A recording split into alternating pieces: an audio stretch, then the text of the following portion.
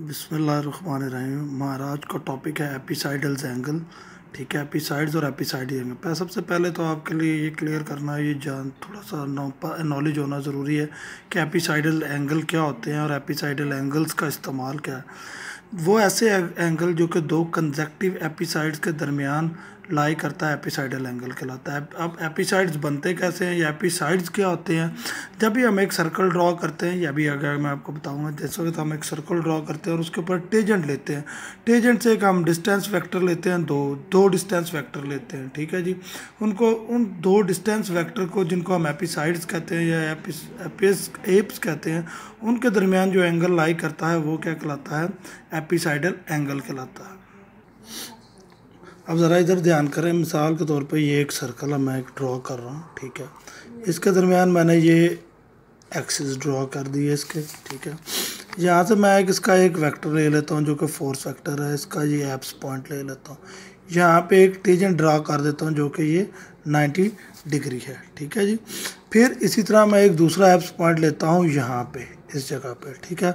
और इसके अगेंस्ट ये 90 डिग्री पे एक टेजेंट ड्रा कर देता हूँ। अब ये मेरे पास दो ऐप्स हो गए ठीक है? ये मेरे पास दो ऐप्स हो गए। इनके दरमियान ये जो एंगल लाई कर रहा है ये एंगल कहलाएगा एपिसाइडल एंगल चाहे ये एंगल थीटा है चाहे ये एंगल फाई है चाहे ये एंगल जो भी इसको आप नाम देना चाहें दे सकते हैं ठीक है?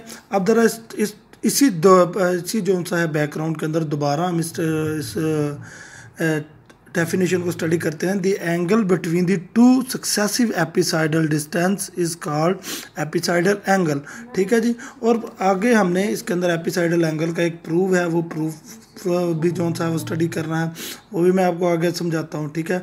सबसे पहले तो आपका एपिसाइड अब एपिसाइडल एंगल का इस्तेमाल क्या है? एपिसाइडल एंगल का इस्तेमाल हमारा जो सोलर सिस्टम है, उसकी जोमेट सिमेट्रिकल और उसकी जोमेट्रिकल ऑब्जेक्ट्स को स्टडी करने के काम आता है। इसके अलावा ये हमारे जो कंस्ट्रक्शन इंडस्ट्री है, उसके अंदर जहाँ पे कोई टेढ़ी, तिरछी जगह या ऐसी जगह जो कि जिसे टेक्निकल ज़बान में बदगुनिया या फिर कहते हैं कून वाली जगह आ जाए, उस जगह पे इस्तेमाल की जाती है। ठीक है जी?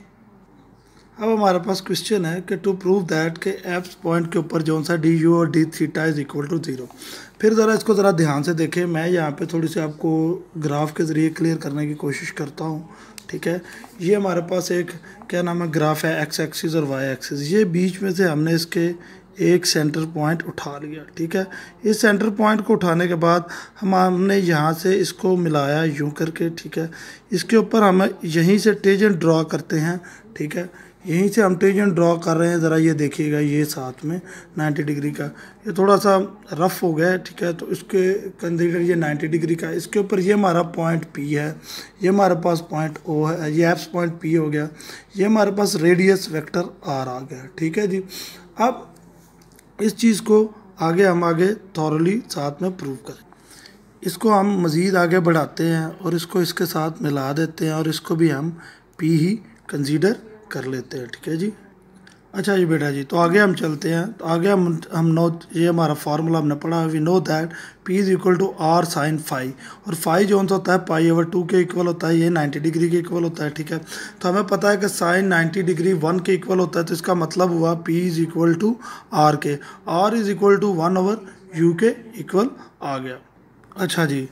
P is equal to one over U के इक्वल आ गया क्योंकि आर जो है वो हमारे पास वन आवर यू के इक्वल है। वी नो दैट कि one over P square is equal to one over R square plus one over R four square into D over D theta over whole square R is equal to one over U इसको हमने अब differentiate किया D over D R over D theta is equal D theta U minus one this implies that D over over D theta is equal to minus one U minus two D R over D theta हाँ जी, इससे आगे आए, अगले step पे हमने इसका square लिया D R over D theta is equal minus one over U D R over D theta is equal to ये इम्प्लाई करता है D R over D theta और square is equal to one over U square U की power four D R over D theta whole हाँ जी next step के अंदर हम दोबारा जो पीछे हमने फार्मूला रखा था one of P square is equal to one over R square plus one over R four D over R D theta over whole square ठीक है one over R square U square के equal आ जाएगा one over R four U four के equal आ जाएगा D R over D theta की value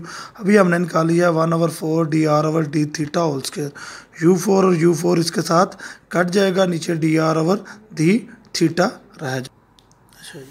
next step पे आए, यहाँ पे हमने वन ओवर पी स्क्वायर को जो सा है, वह P is equal to one over U square है। P square is equal to one over U square और वन ओवर पी स्क्वायर जो सा होगा वो यू स्क्वायर के इक्वल आ जाएगा। That is equal U square plus D U over D theta ये दोनों आपस में कट गए, ठीक है? Zero zero is equal to D U over D theta square अब आप इसका, आगे से जब आप इसका क्या नाम है अंडर रूट ले लेते हैं डी यू और D, T theta that is equal to zero ये ही चीज़ हमने प्रूव करनी थी और ये प्रूफ हो गई, ठीक है जी?